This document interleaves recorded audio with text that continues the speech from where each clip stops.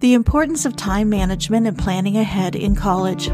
Planning ahead is crucial for success in college. It starts with simple things like being prepared for class. But it goes beyond that. Creating a study schedule and using an academic planner are key. By thinking ahead and having a plan, you can reduce stress and manage your time effectively. Planning ahead helps you stay on track and avoid distractions.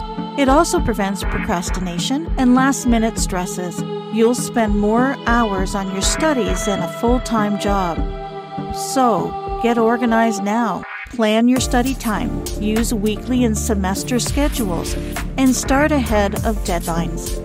By planning and managing your time, you'll set yourself up for success in college and in your future career.